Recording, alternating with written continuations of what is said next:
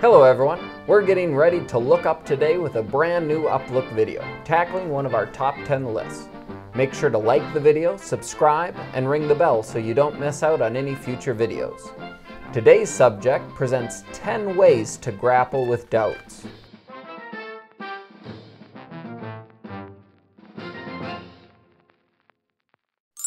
You may have heard it said that it's better to doubt your doubts and believe your beliefs than to doubt your beliefs and believe your doubts.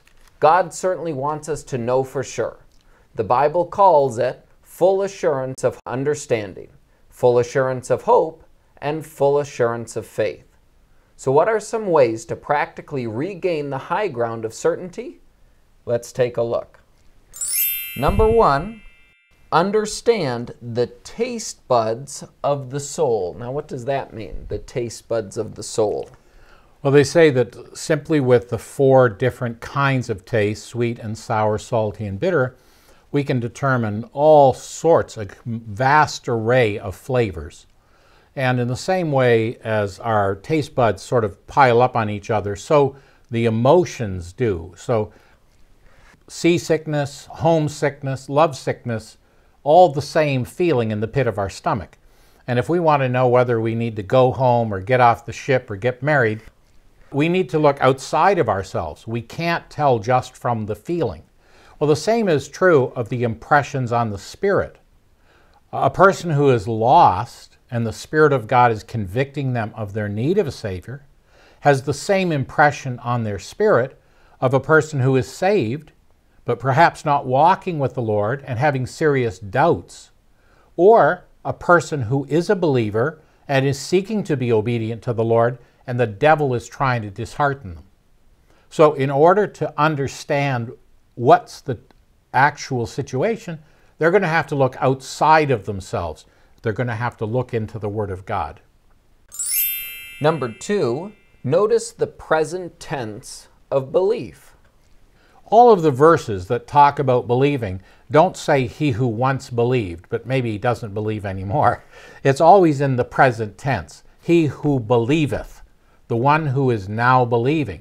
So that's really a question a person needs to ask. If they're struggling with doubts, I'm not sure if I did it the right way when I was five years old at my mother's knee, don't be too terribly concerned about that.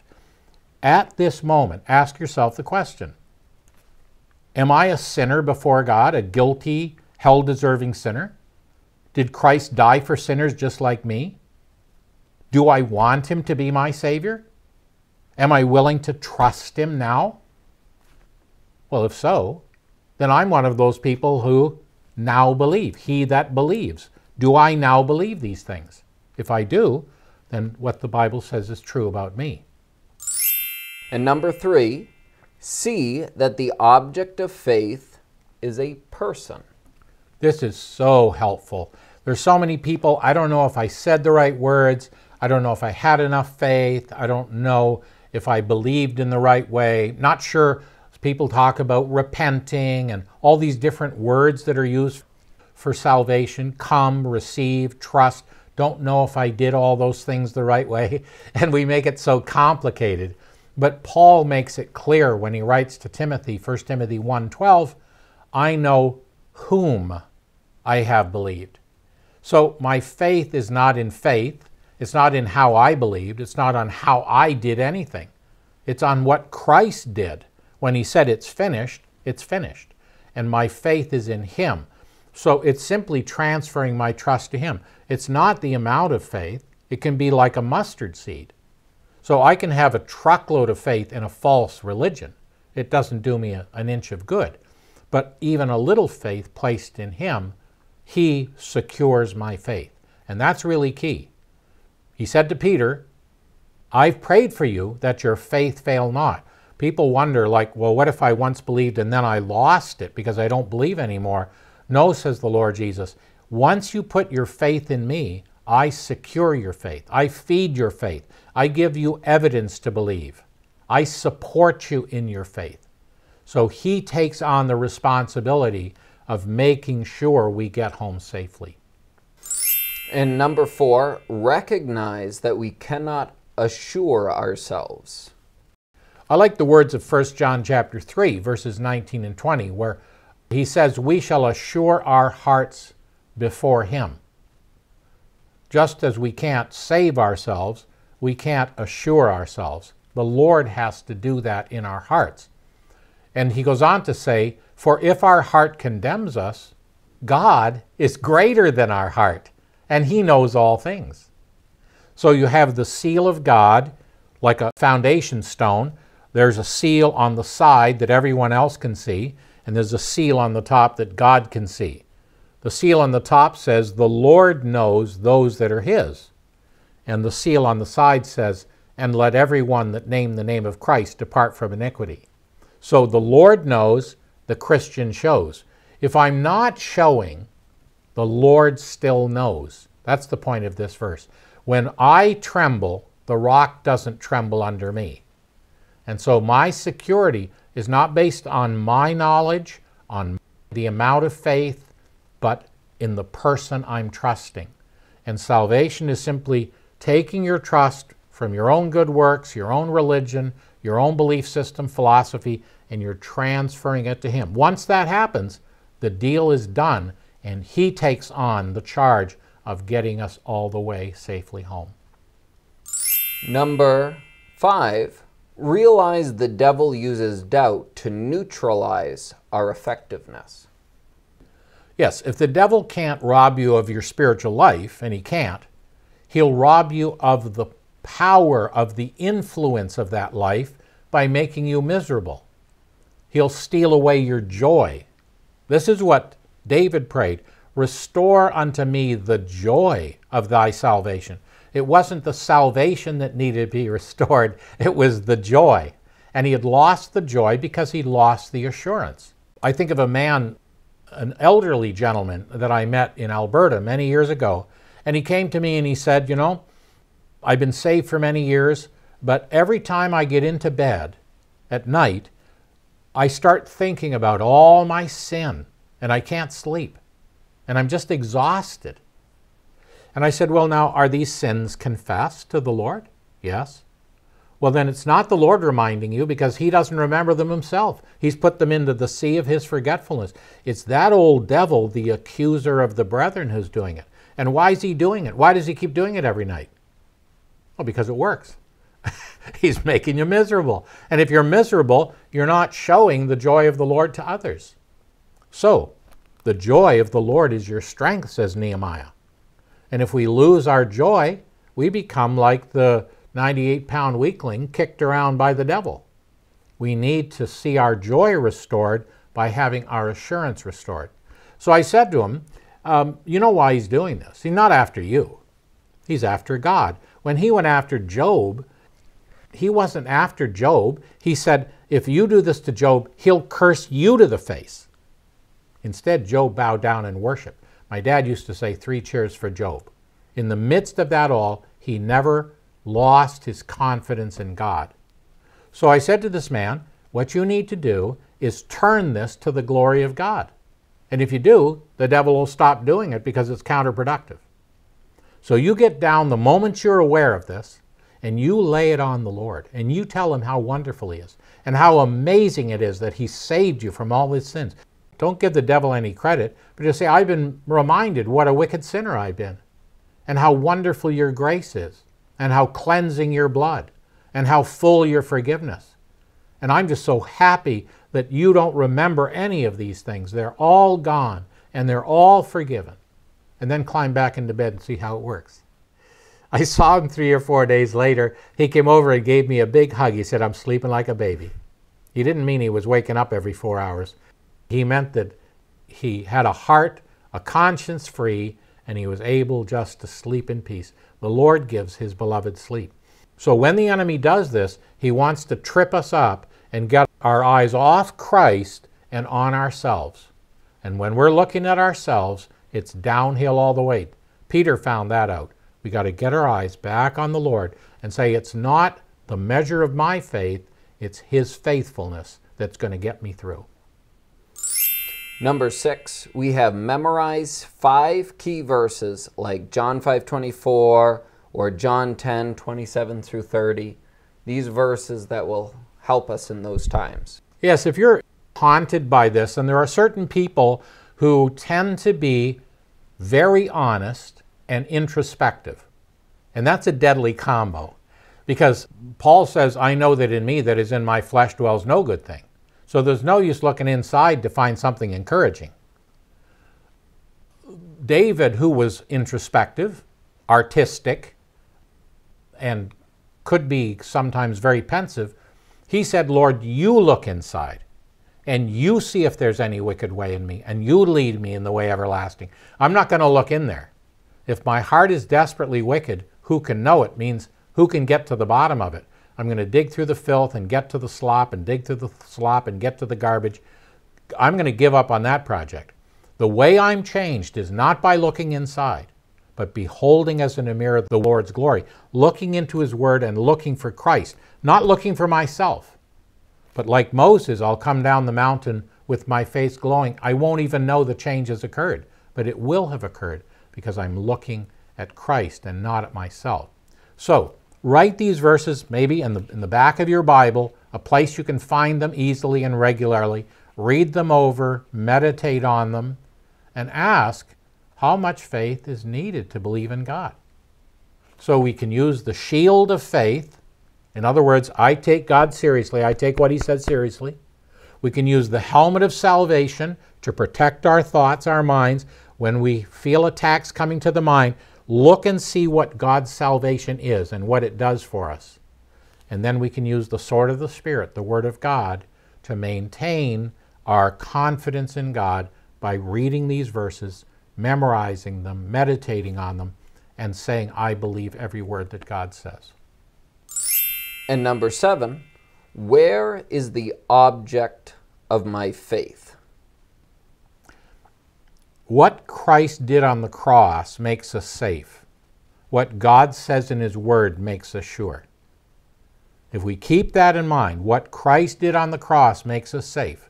What God says in His Word makes us sure. Remember the verse we began with we shall assure our hearts before Him. It's in the Word of God and His promises that we'll find the answer. So, obviously, if the Bible says, believe on the Lord Jesus Christ and you'll be saved, and I say, well, I, I do believe I'm a sinner. I do believe Christ died for sinners. I do believe Christ died for me. I do believe that if I accept Him as my Savior, I'll be saved. Well, then what does God say? He doesn't say if you feel saved, you're saved. He doesn't say if you saw me come in, if you felt me come in, if you're having a supernatural spiritual experience every day if you're tiptoeing on the mountaintops. He doesn't say any of that. The Lord said, If you open the door, I will come in. He keeps his promise. So that's the question. If I say I believe, and yet I'm not sure that I'm saved, who's making the mistake? Either God has failed to keep his promise, or you have failed to believe what God has promised. Well, obviously, it's not, it's not God. And so we just have to get back to say, wait a minute, the plain promise of God is believe on the Lord Jesus Christ, you'll be saved. I have believed, I take God at His word, and that's a key. Number eight, many look to Christ to save them and then to themselves for assurance. Listen, let me tell you a little story.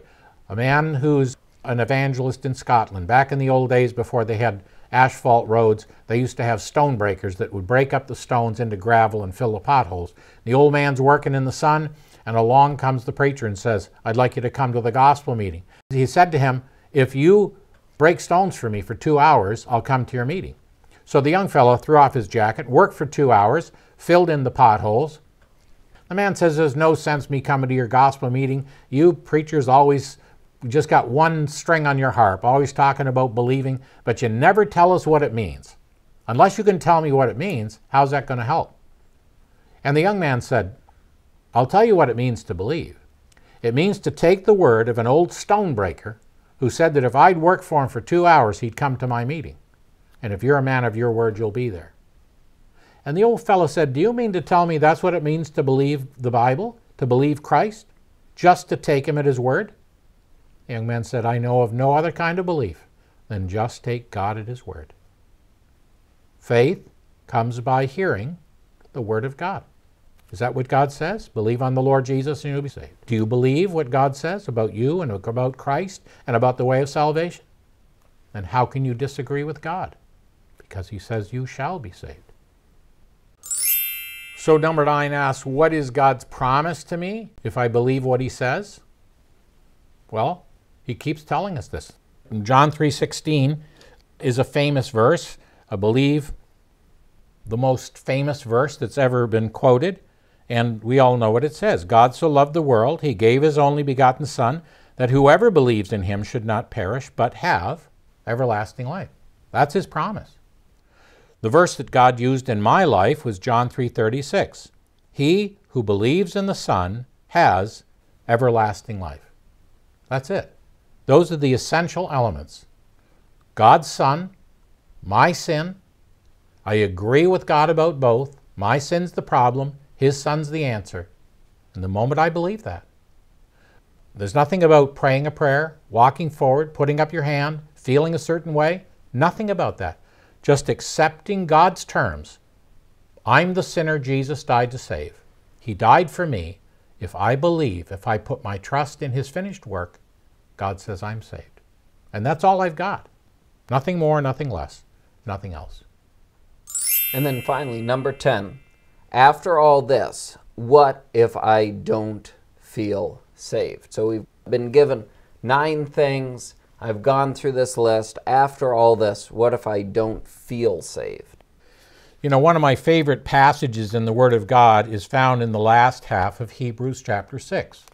And in Hebrews chapter 6, the Bible tells us that God wants us to have full assurance. That was one of the verses we began with. And he tells us that God wants us to be sure. And so God made a promise. That should have been enough. But God wanted to make it absolutely sure. And so he not only made a promise, he sealed it with an oath. Now, the problem was that we always swear by something greater. That's why people put their hand on the Bible in a law court. But there's nothing greater than God. So, what God did was he swore by himself. In other words, he put his own character down as collateral to guarantee that anyone who believes on his Son will be eternally secure. So if you don't make it to heaven after you believed on the Lord Jesus, God will cease to be God. That, that's, that's how sure he wants you to be. But he didn't just make a promise and seal it with an oath and guarantee the collateral with his own character. But then we read, He gave us an anchor of the soul, sure and steadfast inside the veil. So the idea here is this that Christ, who is our life, has already entered into heaven. I'm as sure of being in heaven as if I were already there, because Christ is my life, when Christ, who is our life, shall appear.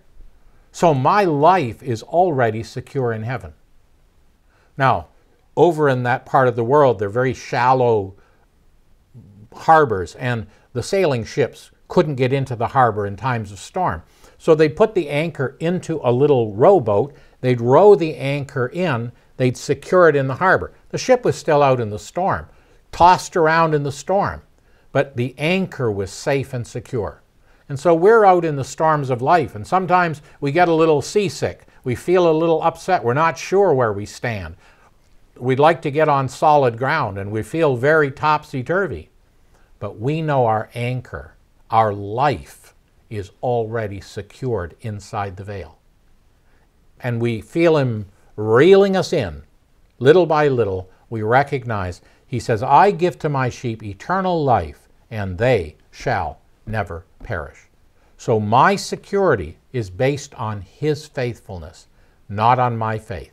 The least amount of faith placed in Christ, if I just believe what He says, God says, I can be absolutely sure. Feelings come and go, but God's Word remains secure. And that's why we base our assurance not on how we feel on any particular day, but on what God says in His Word. And we rest on that. We assure our hearts before Him in His Word.